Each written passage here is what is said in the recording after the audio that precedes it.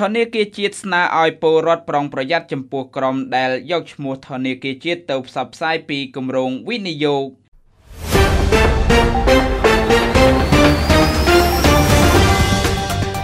ធនាគារជាតិនៃកម្ពុជាបានប្រកាសបដិសេធទាំងស្រុងចំពោះបណ្ដាញសង្គមមួយចំនួនបានប្រើប្រាស់និមិត្តសញ្ញានិងឈ្មោះធនាគារជាតិនៃកម្ពុជាផ្សព្វផ្សាយពីគម្រោងវិនិយោគឬប្រតិបត្តិការជួញដូរផលិតផលហិរញ្ញវត្ថុក្រៅផ្លូវការ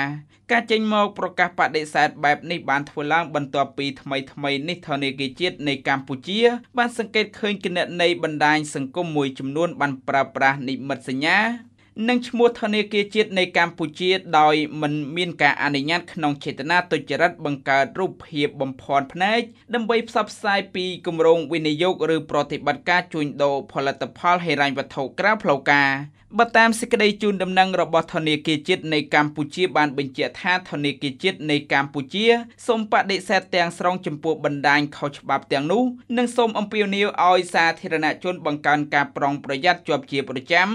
ដើម្បីកុំឲ្យធ្លាក់ចូលល្បិចឆបោកដែលអាចនាំឲ្យបាត់បង់ប្រាក់កាក់ឬទ្រព្យសម្បត្តិផ្សេងៗតាមរយៈការចូលរួមវិនិយោគជាមួយក្រុមទាំងឡាយណា ដែលពុំមានអាជ្ញាប័ណ្ណនិងការត្រួតពិនិត្យត្រឹមត្រូវពីអាជ្ញាធរមានសមត្ថកិច្ចសេចក្តីជូនដំណឹងបានឲ្យដឹងថាធនាគារជាតិនៃកម្ពុជាពុំមានក្រុម Channel ឬគណនី Telegram